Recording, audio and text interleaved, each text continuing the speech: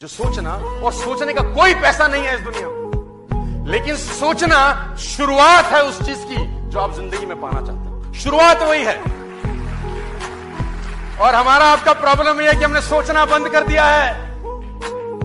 और हमारी सोच बुरा मत मानिएगा, दस, पंद्रह लाख, बीस लाख की गाड़ी पटक जाती है। हेलो। और उतना भी सोच लिया तो दूध का गिलास पीजिए।